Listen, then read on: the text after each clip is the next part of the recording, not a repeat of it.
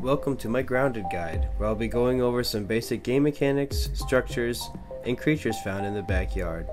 A disclaimer though, Grounded is still in early access development with big updates coming, so some things such as geographical layout, gear, and wildlife could undergo major changes the next year. If there are any important changes, I'll go over them in later videos.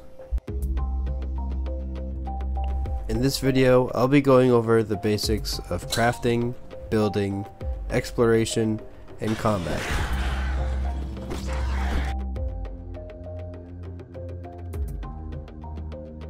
There are lots of tools and weapons to create in the backyard. Picking up bug parts and other resources for the first time instantly earns you knowledge for different equipment, utilities, and structures. Further analyzing these resources can unlock higher tiered items.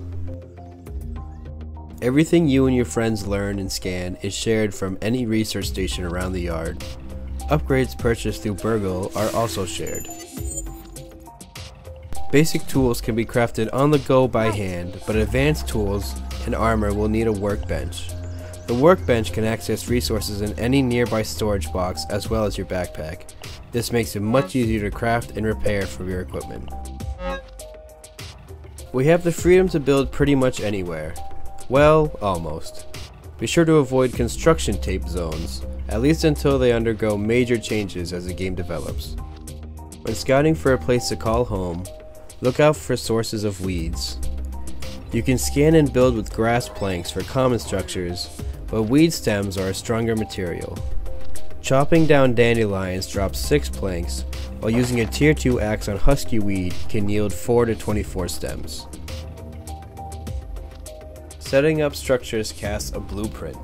These are placeholders until it is completed and any of your friends can contribute resources to them.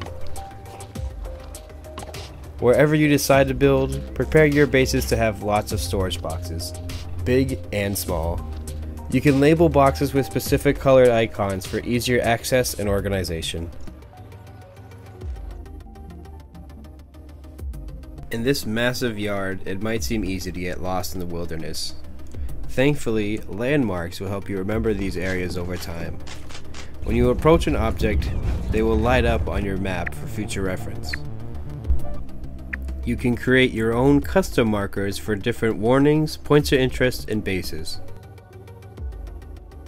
Different resources are based on the terrain, such as green grass having more sprigs and clovers. There are also larger sources you can break apart for more yield, such as rocks for pebbles and clumps for sap. In my previous video, I mentioned hunting is a key to maintaining your health. Routinely hunting and cooking meat is good in a pinch. The prey around the yard are usually small and rarely hostile.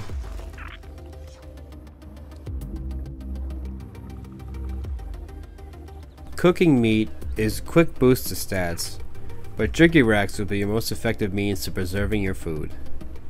Jerky can be stacked, does not expire, and will fill your hunger bar past 75% at the cost of only some thirst. Dew collectors, water storage, and canteens will be essential for your bases.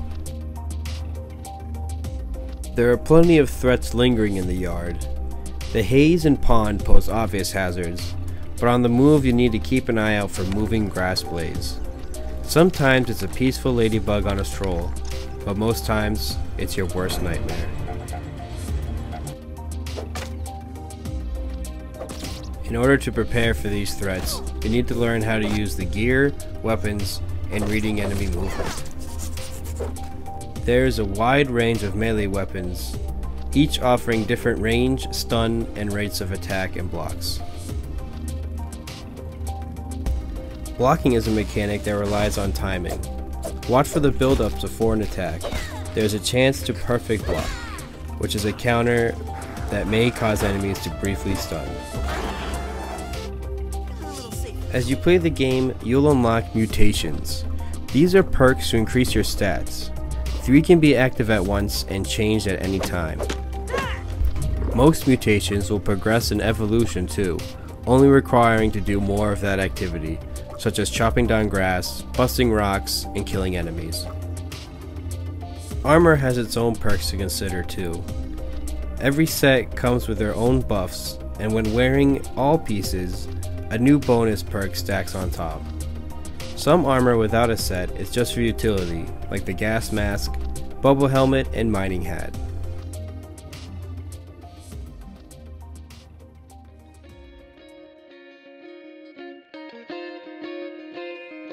Next time, I'll be going over advanced building and the Shrooms in Doom update. Thank you for tuning in. Be sure to check out my future Grounded guides and any of my other videos. I stream on Twitch almost daily and play Grounded on Mondays. See you then.